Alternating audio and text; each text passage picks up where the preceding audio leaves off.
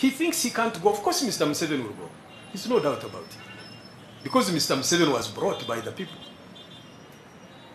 Mr. Museveni, when you hear he went with 27 guns, he didn't have the power. He was housed by the civilian population. We were eating raw corn. When Obote soldiers would pass, we would cover ourselves with dried banana leaves, a sanja.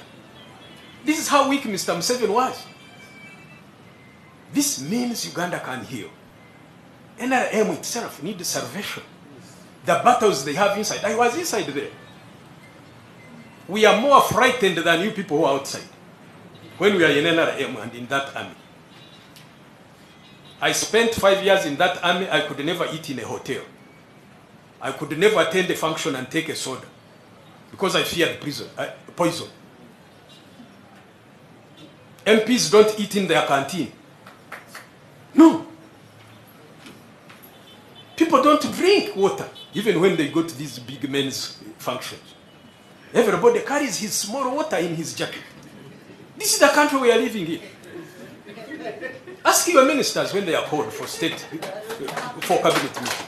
And you come and you tell us everything is okay. It is okay. It is okay when a member of the high command, when we are going to meet everybody, packs a chapati in the pocket. Hmm? Fumbusa. It means there is a serious problem in the country. It means there is a serious problem, which we need to resolve. But people do not understand that. They think. If the people, we who are inside the army, inside the cabinet, inside the parliament, cannot trust each other, you cannot serve me tea and I take it. Forget about other things. Then, then how can you build a country now?